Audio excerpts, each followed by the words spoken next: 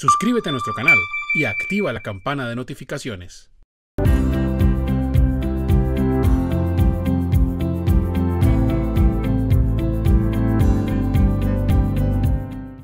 ¿Cuál es la entidad encargada de sancionar a las empresas que malversen el dinero otorgado en el PAEF?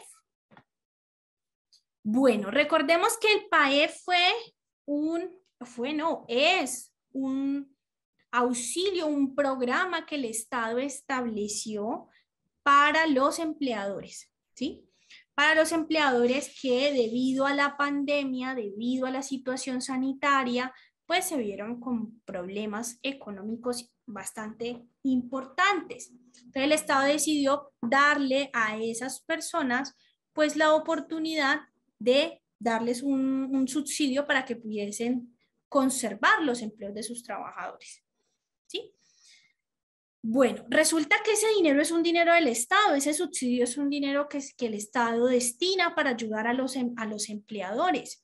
Y para que los empleadores tengan derecho o tengan acceso a ese subsidio, tienen que cumplir unos requisitos, tienen que haberse constituido antes de enero del 2021, no pueden haber eh, reportado licencia no remunerada o suspensión del contrato de ese trabajador en el tiempo, en el periodo que se va a pedir el subsidio, tiene que tener una cuenta, bueno, sí, tiene que cumplir unos requisitos.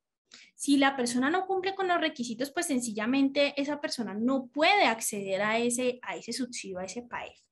Pero ¿qué pasa si una persona se vale de artimañas o de alguna situación que a pesar de no cumplir con los requisitos, se postula en el plan y, resulta que no caen en cuenta de eso y la persona recibe eso, e, ese dinero y después más adelante el PAEF se, se da cuenta, perdón, más adelante se investigan y se dan cuenta de eso. Entonces, ¿quién es el que fiscaliza todo el tema de los recursos del PAEF? Es la UGPP. Y la UGPP es la que se encarga de vigilar que las personas que se están postulando son las que dicen ser y cumplen con los requisitos que la norma estableció para ello. ¿Sí?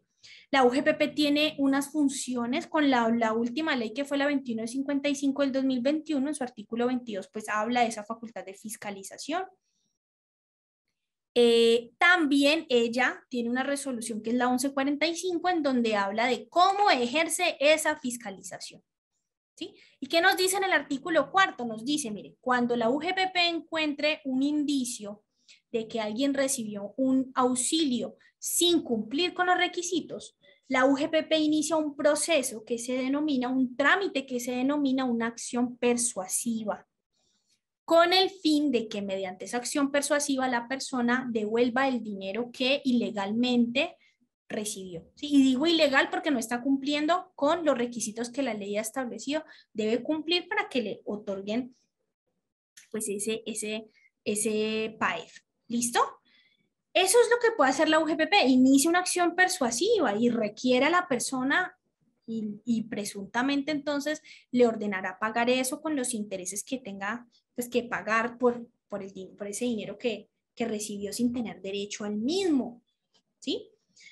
Adicionalmente, en esta resolución nos dice que la UGPP cuenta con un tiempo máximo de 15 meses pues, para iniciar ese cobro o esa acción persuasiva.